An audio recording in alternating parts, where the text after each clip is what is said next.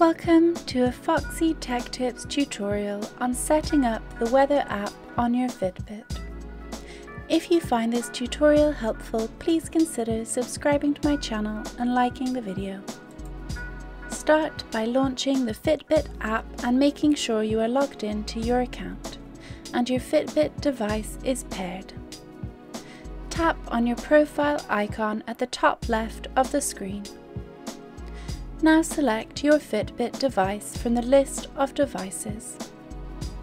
From your Devices page, tap on Apps.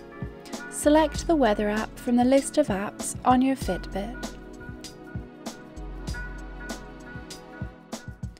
Open Settings for the Weather app.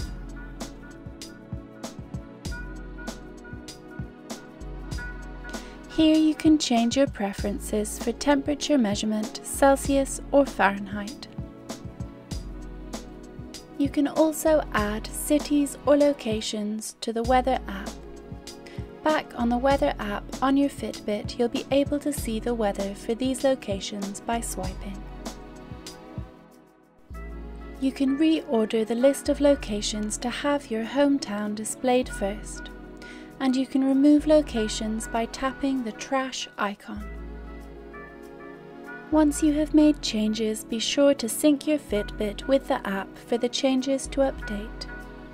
And that draws an end to this tutorial. Please like the video if you found it helpful and subscribe to Foxy Tech Tips for more Fitbit tips and tricks.